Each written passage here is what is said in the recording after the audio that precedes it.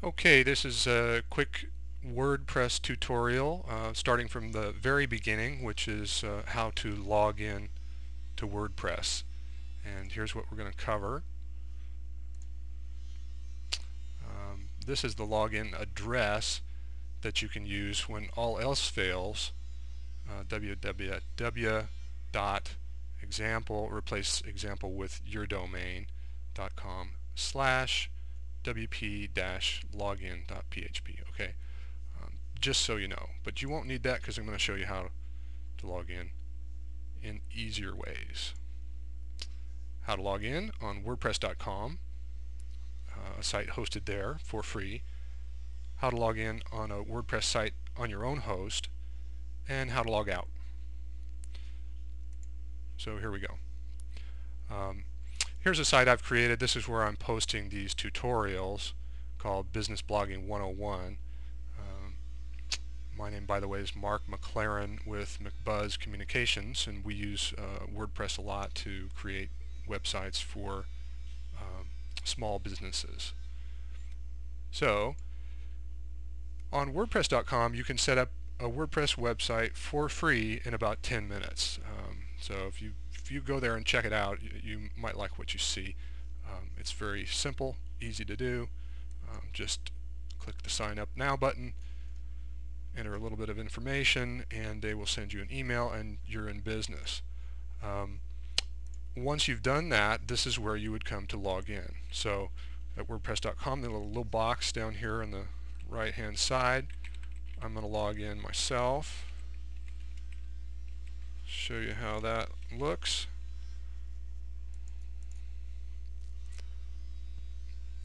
Okay, here's the screen that you'll see once you've logged in on WordPress.com. And that's where this site is hosted for free. Okay, there's my little picture, my profile. If I want to administer my account, I can go up here on the right and grab this menu, um, do a lot of stuff. Incidentally, here is log out. Uh, but we haven't got there yet.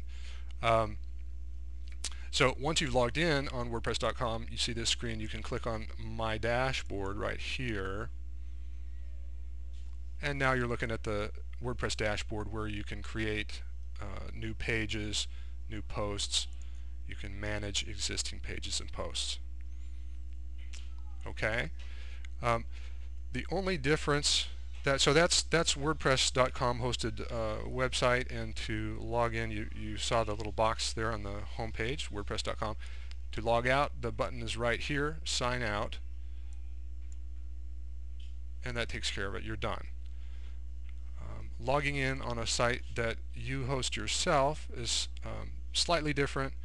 You can use the address that I showed you before when this tutorial started you can do this a lot of times on a WordPress theme it will include a, a link to the login page. So if, if you have a WordPress theme that has one of those it's quite convenient.